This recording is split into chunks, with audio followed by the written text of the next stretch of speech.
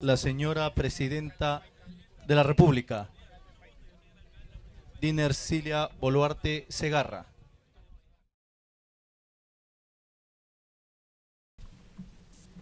Muchas gracias y buen día. Buen día, querido pueblo de Paita.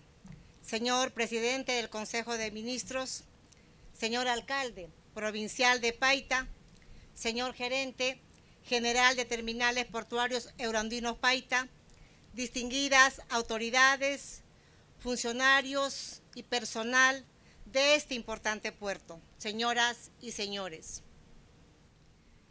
Como primera mujer presidenta en los 201 años de República del país, no solamente tengo el honor, sino el orgullo de peruana estar acá en Paita para poder inaugurar este tremendo puerto el espigón que va a permitir que el Perú, que el Perú se desarrolle como los grandes países desarrollados. Siempre hemos dicho que nuestra patria con tanta riqueza es considerado un país de materias primas. Pero con este puerto, que está a la altura de los países desarrollados, podemos decir que el Perú está creciendo y ojalá con la inversión privada, que es muy importante que puedan creer en un país que tiene seguridad jurídica, que tiene estabilidad democrática, que respeta la institucionalidad, puedan seguir invirtiendo en el Perú. Pero también de la mano con el Estado, pero con un Estado que apueste por un trabajo honesto, transparente, sin autoridades corruptas que le estén saqueando el alma y la riqueza al pueblo peruano.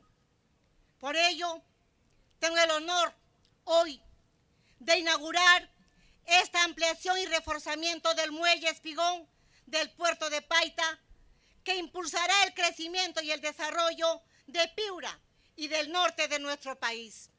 Seguiremos apostando por mayores obras como esta de gran envergadura. Esta obra permitirá recibir naves de mayor tamaño y tener una infraestructura adecuada para aumentar la capacidad de atender las agroexportaciones, sin duda, una obra que generará un impacto económico a favor de la población que tanto espera, no solamente del Estado, sino también de estas capacidades de la inversión privada. Se trata, pues, de la construcción de un muelle de 365 metros de largo y 17.20 metros de ancho. Adyacente al muelle existente, el monto de inversión prevista es de 16.4 millones de dólares. Felicito a la empresa que ha decidido invertir en esta ampliación del terminal portuario y confío en que los nuevos empleos que se generen provean a más peruanos de ingresos dignos y que sus familias tengan mejor calidad de vida. Sobre todo porque Paita es el segundo puerto nacional después del Callao en cuanto a movimiento de contenedores. Su área de influencia abarca las regiones de Piura, Tumbes, Lambayeque, Amazonas y San Martín. Los principales productos que vienen siendo exportados en el puerto son pota, pescado congelado, langostinos, frutas. Y entre las frutas tenemos mangos, plátanos, uvas, paltas, arándanos, entre otros.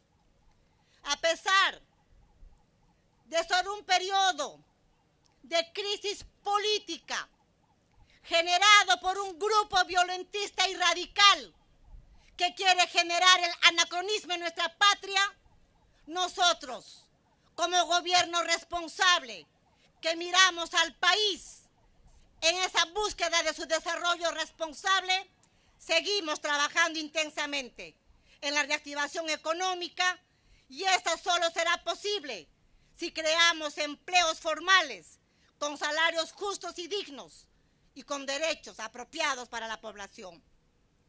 No hay forma de impulsar el desarrollo sin cerrar las brechas históricas, las brechas en salud, en educación, en conectividad, en infraestructura, que no han sido abordadas por la confrontación política y porque además ha sido corroída por la corrupción. Pero no podemos trabajar solos. Necesitamos la participación de todos los sectores.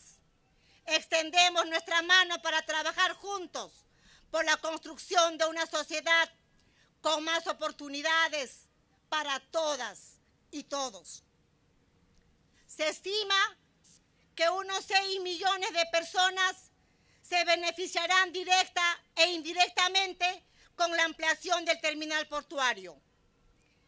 Por, por ello, creemos que esta cifra puede aumentar más si invertimos en mejores carreteras, mejores caminos vecinales y en potenciar la infraestructura agraria e industrial en otras regiones del país del norte.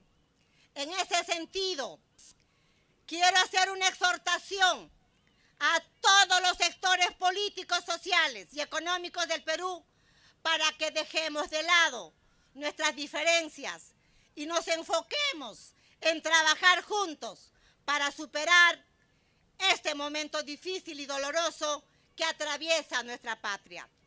Las peruanas y los peruanos piden acabar de una vez por todas con la confrontación y la polarización.